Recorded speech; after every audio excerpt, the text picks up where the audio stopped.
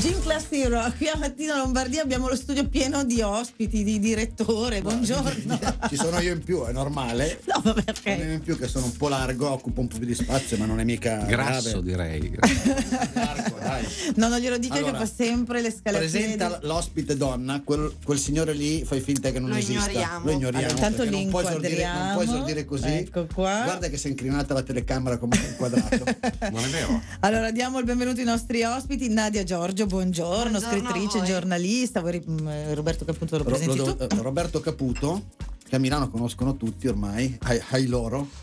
No, che- Da che- molto tempo. per- ma non in veste di scrittore. Da qualche anno però ci delizia, devo essere sincero, perché a me i, i libri di Roberto e Nadia piacciono.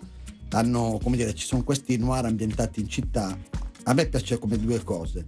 Eh, piacciono i gialli e in modo particolare i gialli ambientati a Milano. Eh sì. perché secondo me, e questa è la prima domanda che faccio a tutte e due, eh, dai gialli, da queste storie si comprende meglio Milano. Cioè io in tutti questi anni, non solo, penso anche a un altro collega amico, Colaprico piuttosto che Biondillo, leggendo i libri Vecchi dei- amici. dei- dei- questi romanzi, come dire, il cambiamento della città è più avvertibile che non tante volte nella cronaca o nella storia eh, quotidiana. E anche nei vostri libri, secondo me, c'è questa, questa Milano che cambia.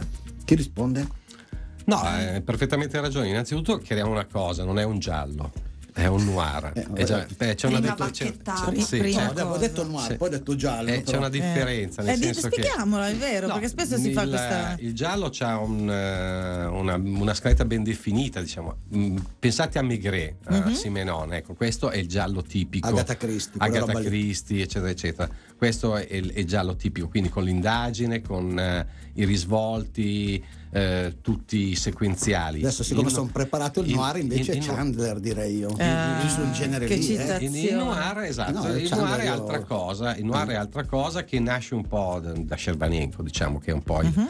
il, eh, Il papà ma- milanese il- il che- maestro milanese de- del, del- del noir e ha dei risvolti più eh, diciamo più realistici nel senso che c'è molta mh, sono molti omicidi può esserci molti omicidi ma anche uno solo però, non, però è- è- è- è il sangue c'è, c'è molto sangue c'è molto sesso e Eh, perché sì. ride? No, Non ho capito. perché, perché Cioè, eh, fa ecco, parte, la- adesso la- fa parte la specificità del noir, duo è il sesso, nel senso no? noir, sì.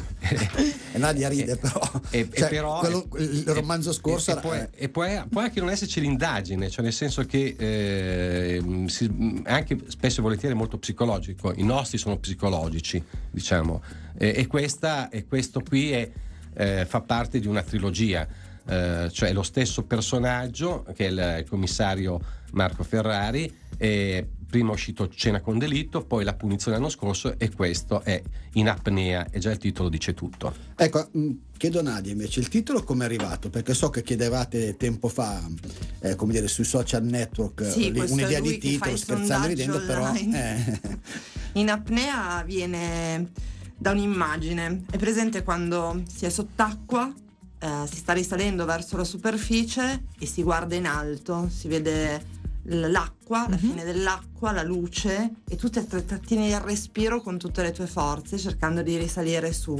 In questo libro ogni personaggio dovrà risalire su, dovrà compiere quella che io definisco l'emersione e per arrivarci dovrà fare un percorso interiore molto importante. Aggiungo un'ultima cosa su Milano, il libro è una trilogia, questo è il terzo appunto, e fa parte di una collana I luoghi del delitto, che è una collana della Robin Edizione che punta proprio su questo, cioè far scoprire una storia, una trama dei personaggi attraverso lo sguardo alla città, quindi alle vie, ai locali storici.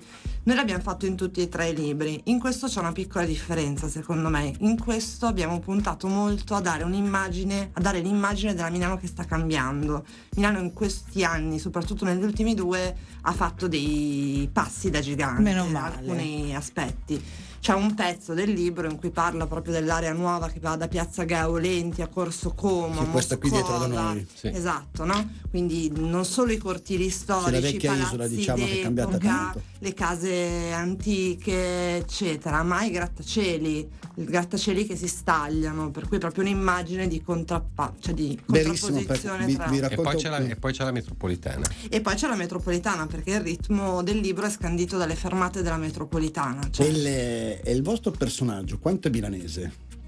Questo ti risponde lui perché Marco Perché- Ferrari è più lui. Sì, infatti Marco gli Ferrari è assomiglia un- anche, infatti quando leggo il libro un po' dico, No, ma lui- ma cioè, no, la mia aspetta, fantasia viene interrotta Ferrari è perché un penso figaccione, lui no, Sì, ho cioè gli capito. assomiglia. Adesso- però lui vorrebbe essere Credo che così sceglierò un'altra coautrice per il prossimo libro prossimo- perché, per la prossima trilogia? eh, sì, prossima trilogia perché ormai si è, si è rotto questo duo dopo questi insulti nei miei confronti. No, Marco Ferrari è, è il tipico milanese. È il milanese che vive tutti i risvolti di questa città, positivi e negativi. E- e gira per questa città, se la gode, ne soffre, eh, ne conosce il bene e il male e, e poi molto tipicamente anche come ragiona è tipico, è tipico di Milano, cioè non, non, non Adesso faccio la stare- domanda tra bocchetto. Mm. Roberto Caputo, Sì. quindi eh, sottolineo Caputo, perché i pugliesi sono così milanesi?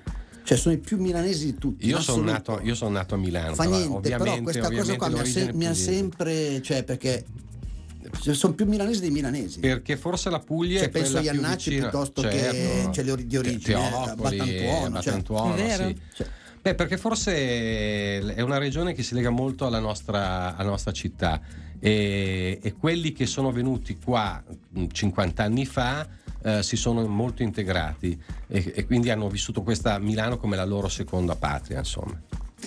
Adesso ascoltiamo Pitbull e poi torniamo a parlare del libro In apnea Noir, Pitbull, sottolineiamo non Noir, non cane? di Roberto Caputo e Nadia Giorgi. Poi mh, quando Poi- riprenderemo la chiacchierata voglio sapere di più. Mm. sulle, a parte diremo quando lo presenterete, dove, come, quando, ma sulle tre carte dei tarocchi lasciate sulla scena del crimine. Adesso c'è Timber featuring Keisha con eh, Pitbull qui a Mattina Lombardia.